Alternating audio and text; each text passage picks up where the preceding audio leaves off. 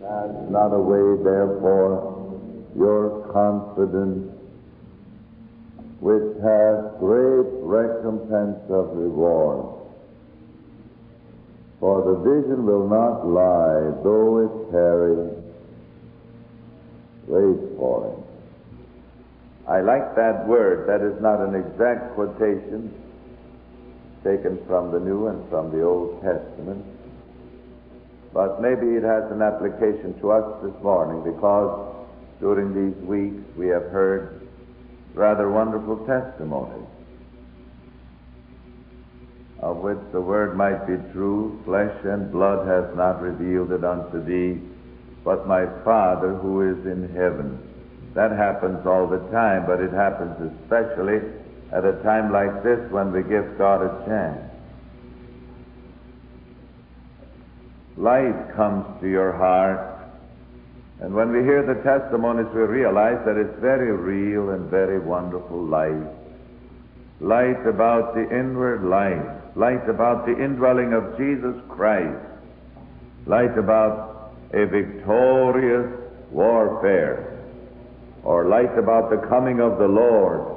And of course, there has come to all of us a light about fellowship with Jesus, waiting upon God, and the wonderful results. And maybe you have received light about divine healing. It is really very remarkable how much light we get. Very remarkable.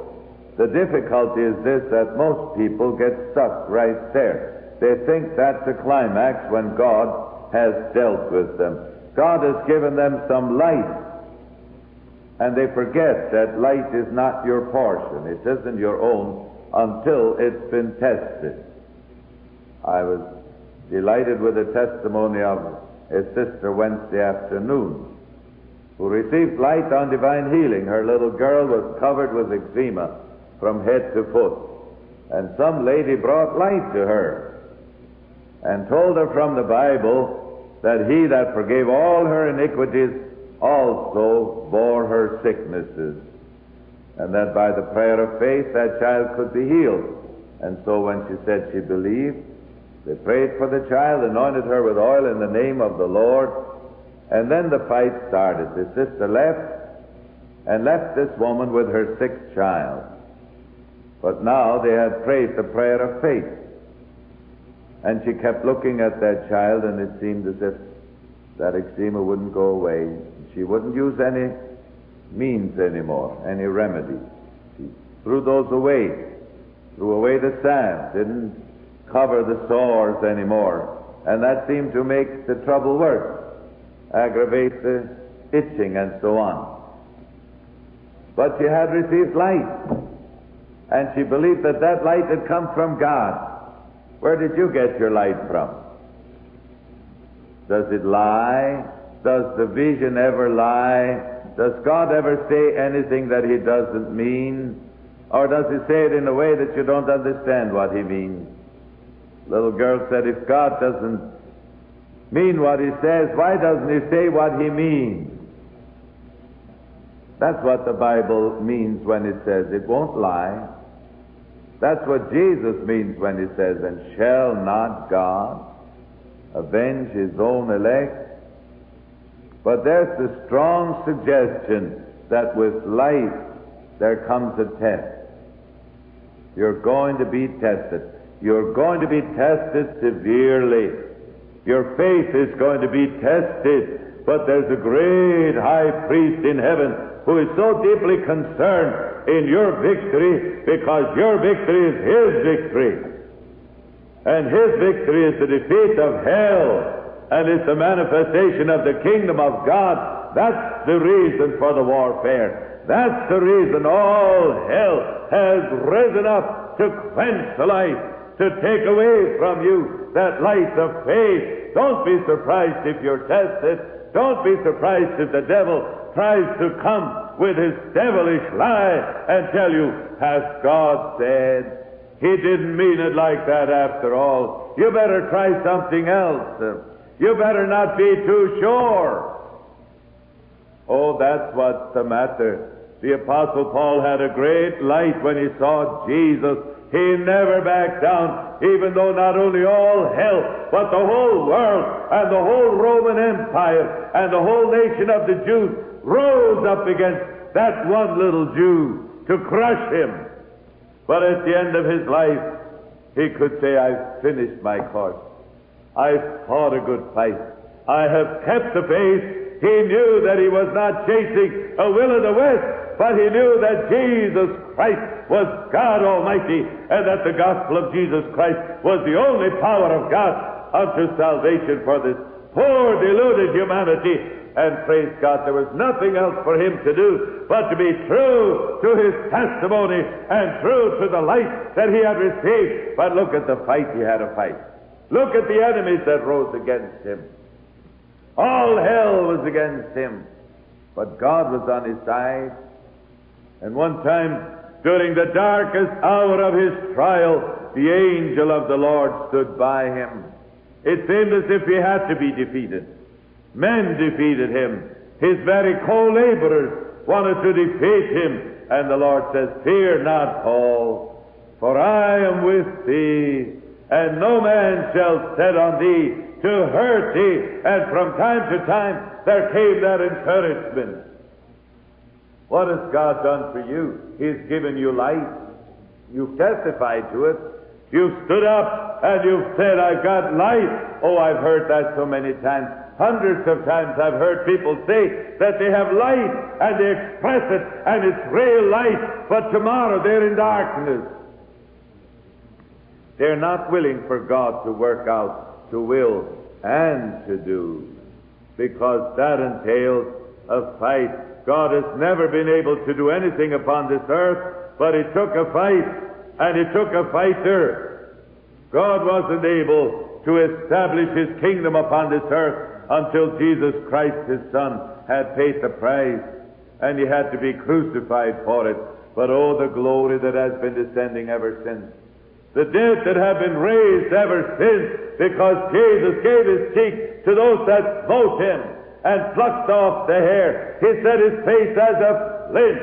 And when Peter, the first pope, came and tried to discourage him, he said, Get thee behind me, Satan. He said that to every other pope. Get thee behind me, Satan. And you've got to say that to yourself. Oh, when God gives you life, it will not lie. It will not lie, but you're going to have a fight. When Pastor Blumhardt got light on divine healing, all hell rose up against him. There was a girl in his assembly who was demon possessed so terribly. And he had gone to visit her with the deacons, and the doctor was there. And the doctor said, Goodness, this is no case for a doctor. Where are the elders who have faith to pray the prayer of faith? And then the doctor left, and Pastor Blumhardt put on his coat, and he wanted to leave. And one of his deacons said, Didn't you hear what the doctor said? ah, he said, That's the truth. It struck conviction to his soul.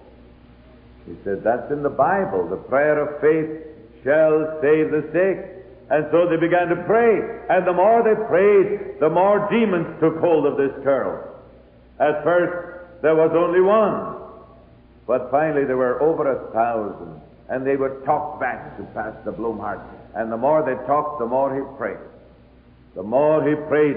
And when the devil said, You can't cast this out, he said, No, but Jesus can. And finally, the devil said, You and your continuous prayer you're going to make it impossible for us to abide.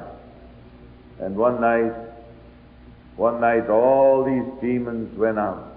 The whole crew, it was after two years of fighting. Two years of fighting might have discouraged the staunchest man. And that man was not in Pentecost, although he did receive the baptism in the Holy Ghost. But he fought for two years. It took a Schwab with a square jaw to do that, but he did it. And sometimes you've got to set your jaw and set your face as a flint. He knew that the vision wouldn't lie. And when those devils came out, they came out with a shriek that was heard all over that town. And the shriek was this Jesus is victor. A very strange thing happened at the same time. They didn't have a telephoto in those days, and it took long time for news to come. But while this girl was being delivered, she had a vision, and she saw these devils through the air. They were sailing over southern Europe and into Spain, and over Spain out across the ocean into the place where there was an island. And then she saw how a mountain opened and belched forth fire and brimstone, and all these devils were cast into that crater as they cried, Jesus is victor. The strange thing was that at that very moment there was an earthquake on that island and the volcano burst forth. And the newspapers came with the story a few days later. But, beloved, that victory did not only deliver that one girl, but it brought a great revival over all of southern Germany. It delivered the atmosphere of hordes of demons, and people got healed by the thousands. Even the dead were raised. And even to this day, after a hundred years, the revival is still going on. When we work there now, in Kirchheim, in Weilheim, in other places, we feel the power of those prayers and of that revival. It's still in the air. And when you are true to the light that God gives you, in spite of what the devil does, don't be afraid. Tarry for it. It will not lie. It will surely come but it'll require a standing by faith. It'll require standing against the wisdom and against the reasoning of men and sometimes against the misunderstanding of your closest associates. God has given you life. And everything that God does in the world requires men and women like Daniel, Shadrach, Meshach, and Abednego who will stand in the name of God and know there's but one thing to do when you know God's will is to do it if it kills you. You can heat your furnace seven times more if you like. That makes no difference to us. You can bring your whole orchestra, your sackbuts and psaltery and harp and your ukuleles and your agony pipes and let them play their most plaintive melodies. Our God can deliver us, and if He will not, yet we will not bow to your image. Beloved, the light that God gives you is Christ Himself. My Father hath revealed it unto thee, and we ought to remember that with fear and trembling we must work out our own salvation. And we must remember the great honor God has bestowed upon us to stand there were times in my life when God asked me to stand alone and to walk alone. I was brought out of the denominational church into this marvelous movement. And you know what brought me? It was the sight of Christ. I was hungry for Jesus. I was longing for meetings where Jesus would have charge, where the glory of God would be allowed to fall. We were not allowed to pray in our church except by the clock and by the bell, the church bell.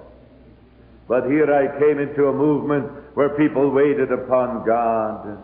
They would come an hour ahead of time, if possible, to pray. That's the way to come to church.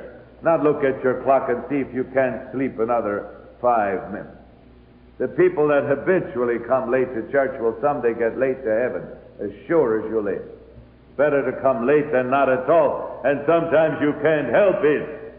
But if there is not a cry within your soul, I must be about my Father's business, you better go and serve your Father.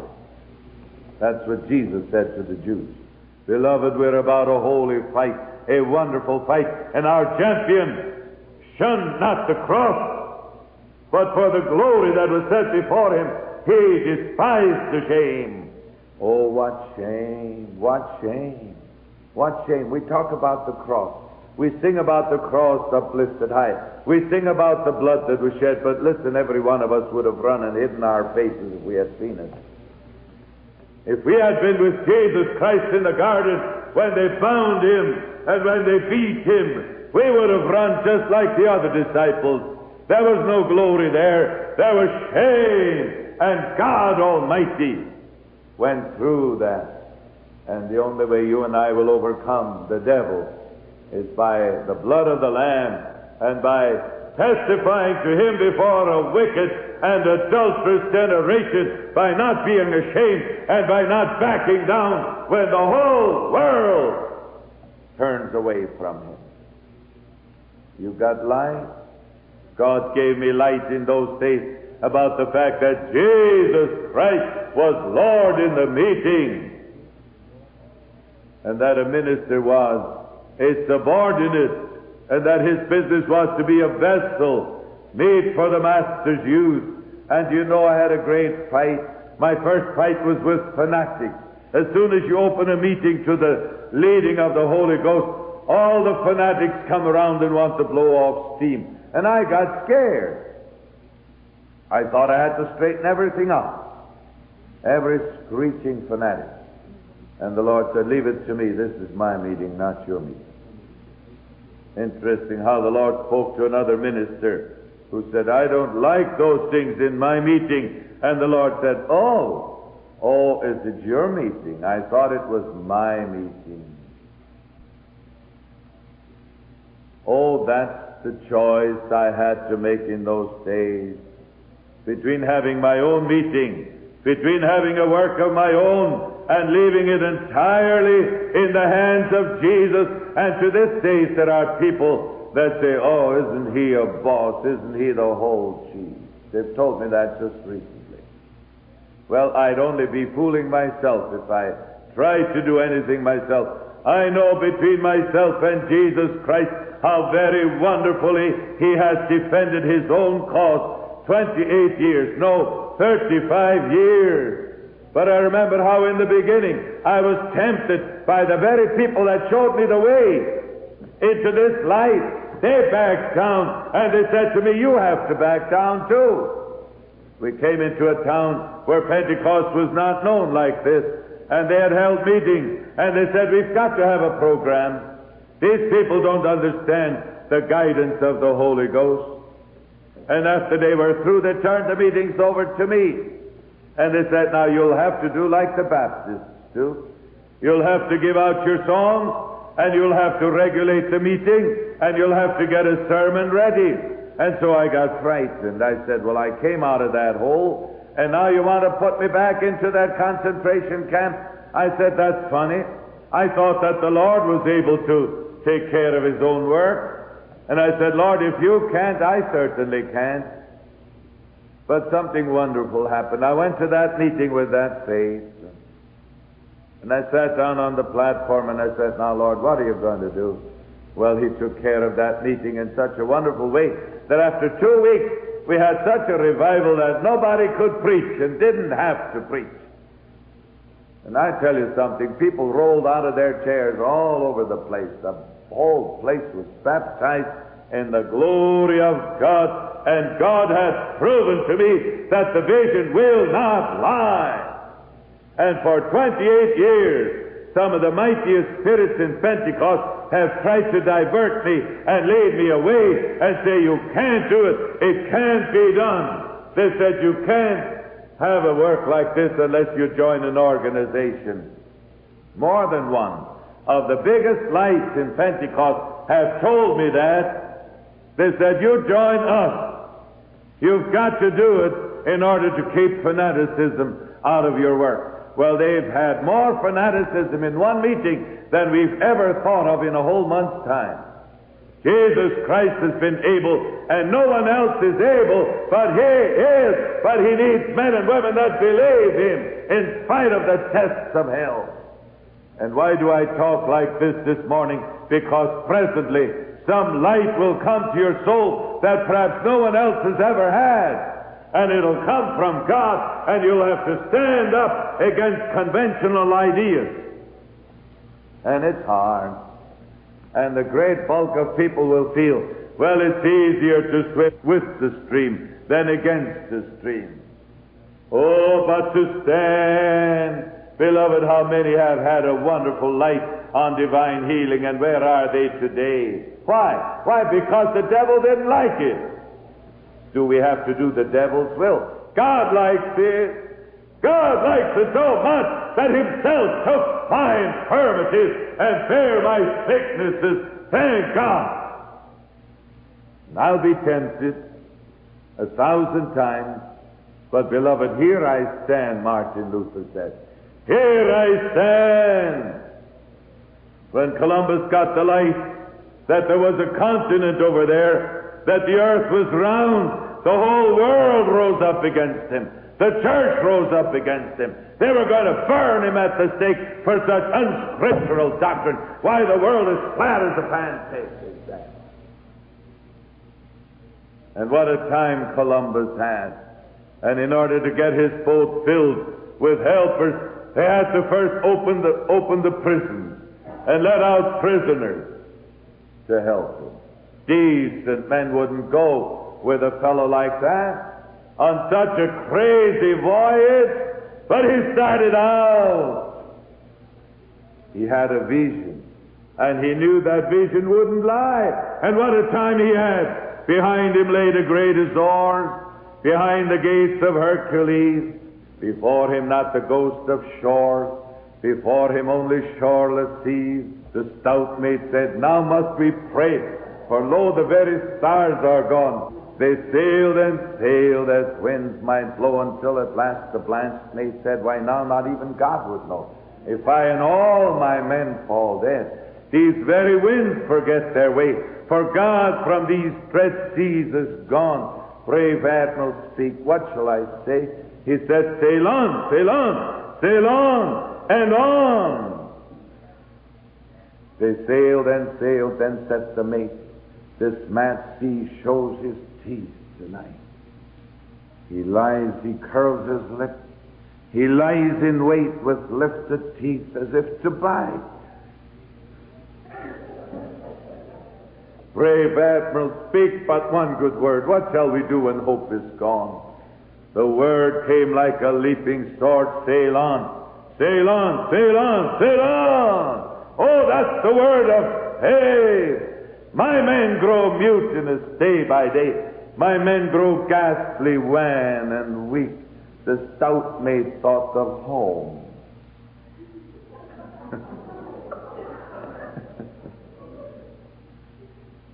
A spray of salt wave washed his swarthy cheek. Brave Admiral, speak but one good word. What shall we do when hope is gone? The word came again like a leaping sword. Sail on! Then, wan and worn, he kept his deck and peered through darkness all alone. Oh, that night of all dark night! And then a speck. A light! A light! A light! A light! It grew starlit flag unfurled. It grew to be time's first of dawn. He gained a world. He gave that world its grandest lesson on, sail on, and you and I have a far better call than Columbus. We are going to gain a kingdom that was prepared before the foundation of the world. And the Apostle Paul says God is not unfaithful, but is going to give you that kingdom for which you suffer. oh, that God might bring a harvest out of these prayer meetings, in that He'll make each one of us faithful to the light which we have received. You're not going to be faithful if you measure yourself by others and think, well, I'll do as well as they. Or I'll please men. That's where more saints of God fail than anywhere else. We like the praise of men more than the praise of God. It's been that way in this work. God has never done anything, never made a forward move, but men have misunderstood and miscalculated and have fought and talked against. And God had to have somebody that had the vision. Had the vision alone and was willing to pray through alone. And pray through you must. You've got to pray through. You've got to go alone where Jesus Christ calls you. You'll never make the grade if you wait for others to come along. Even your wife may not understand you, or your husband, or those closest with you. And God gives you a light, and when He gives you a life, He holds you responsible for that life. Oh, my Father, but what privilege is mine to have the Father Himself speak to my heart and reveal to me things concerning His kingdom. Isn't that what Paul says? Which none of the princes of this world knew, for had they known it, they would not have crucified the Lord of glory. In other words, some of them were honest. They'll cast you out of the synagogue. They'll think that when they kill you, they're doing God's service because they know not the Father nor me. But God has to have someone to whom He can reveal the Father and the Son, and in these days, very specially. The strange thing that about 50 years ago, the patent office in Washington was going to close down. One of the chief men there said about 60 or 70 years ago, let's close the patent office. There's nothing going to be invented anymore. All the inventions that can possibly be made are made. Why, they had even invented a bicycle. And nobody thought of an automobile or an airplane. That was unthought of. But, beloved, today we realize that there are more inventions and more discoveries ahead than this world has ever dreamed of. We're only beginning to tap the resources of God's creation. Just beginning. Electronics are just become known. And when I talk about them at home, they just stare at me. Like if you talk to a Hottentot about uh, an air cooling system. Well, someday they won't stare. Someday they'll understand. But, beloved, there are people that think the end of the world is here and the end of God's revelations are here. No, we're just beginning. Just beginning. Oh, we ought to be faithful to the call of God. Young people, there are opportunities yours that are marvelous. Why, the world is going to be covered with the glory of the Lord. Hallelujah.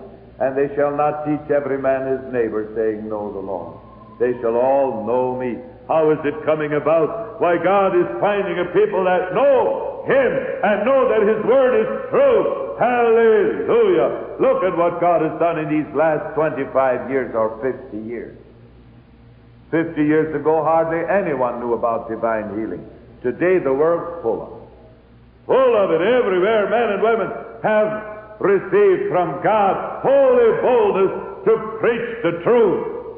And everywhere the sick are being healed. Everywhere thousands upon thousands are being baptized with the Holy Ghost. What will happen tomorrow? Well, God has more light. But let us be faithful to the light we have.